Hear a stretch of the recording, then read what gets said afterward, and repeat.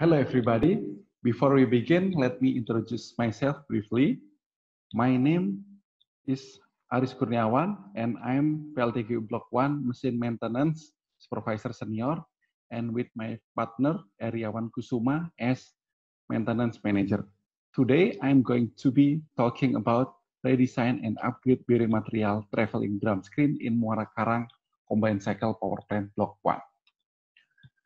From the outline, I will begin from introduction and finally about conclusion.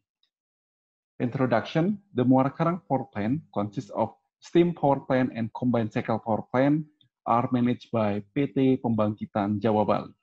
This power plant is located in Pluit, North Jakarta. This power plant have total capacity of 1,600 megawatts. From the background, from Tuesday, 22 January 2019, the problem is the north side traveling drum screen is rise, and we must stop steam turbine. The final financial loss due to the failure of steam turbine operation of 28.59 billion rupees. This problem is not the first. From the DMET history, the problem began from 2016, 2018, 2019. There is problem repeat years by years. From the damage condition, there is a pile of trash, pile of mud, the radius of drum screen is broken, piano and spool do not overlap, broken bolt fuse, but the all problem begin from bearing damage.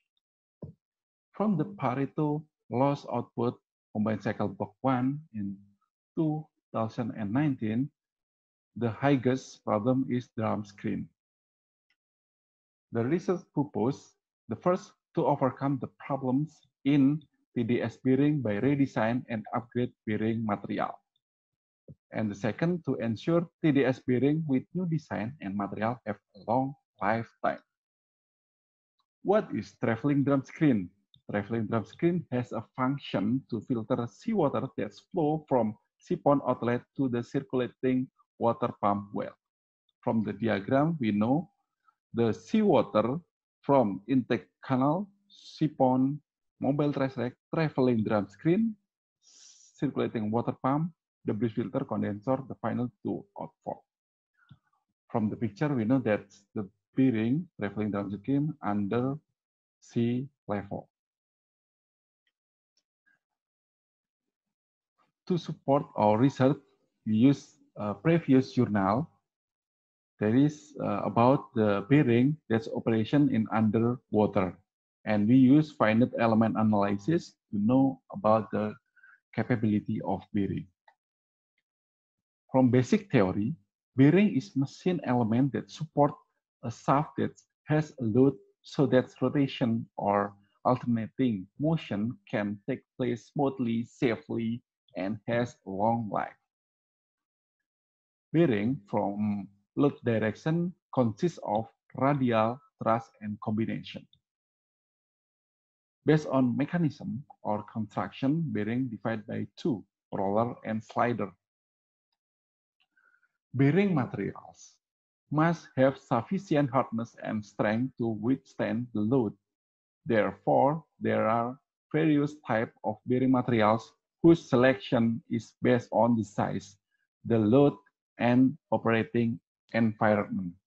High load capacity, but hardness, approved for wet and dry operation, very low stick slip, good elasticity from strength, low wear characteristic, maintenance free because it's underwater, good dimensional stability, competitive price, environmentally friendly, there is no waste, and of course, corrosion resistance because contact with seawater.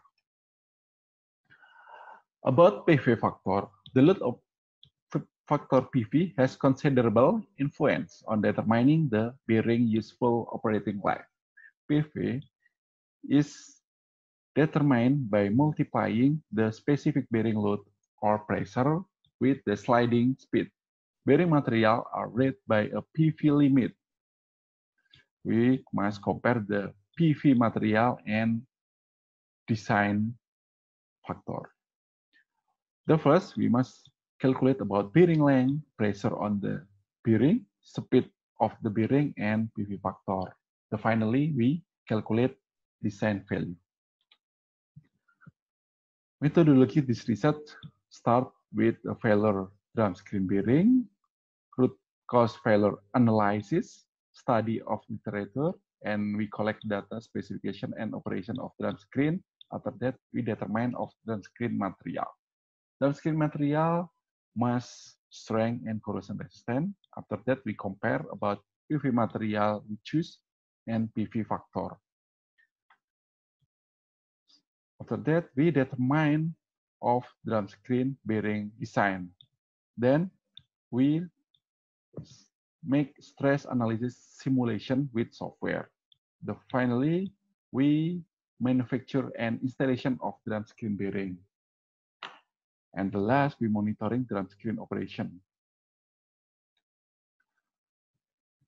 From result and discussion, uh, material TDS bearing, we compare about material present condition with three alternatives.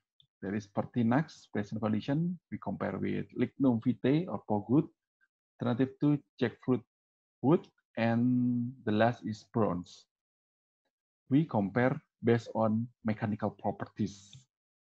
From the mechanical properties, we choose POGUD wood or lignum vitae because it has a highest oil content of 6.22%.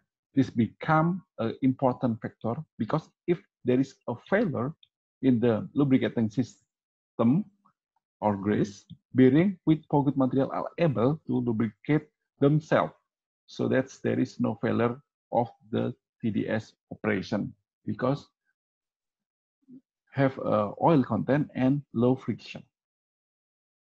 We calculate about PV factor calculation analysis.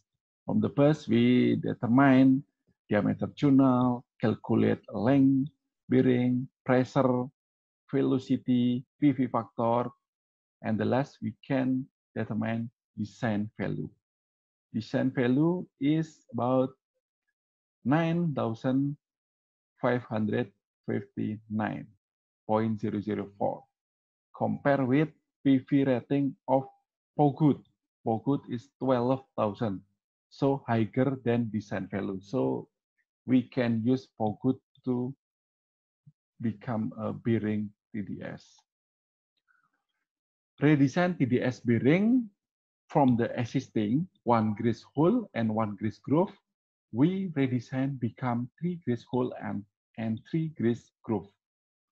The redesign make the grease in the redesign higher than before, about 0.177 liter grease. After that, we uh, calculate about force in the bearing. Before that, we know about TDS assembly mass, about 9,000 kilogram. And we can calculate and get the force is 44.145 Newton. This is used in simulation.